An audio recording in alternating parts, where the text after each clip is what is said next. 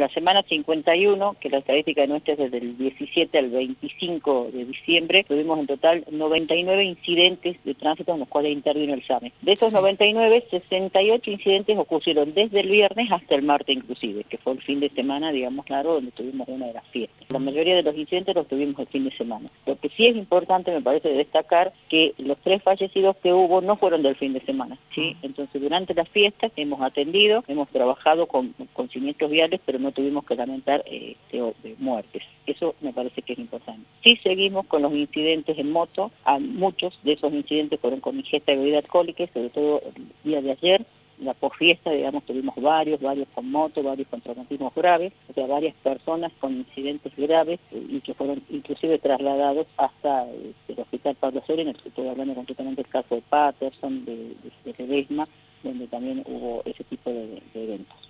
En lo que va del año, o sea, nosotros hicimos la, estadística hasta el 20 eh, de diciembre, a partir del 21 se tenemos que hacer, entonces hicimos el corte el 20 de diciembre y llevamos atendidos o en el SAME 4.017 incidentes de tránsito.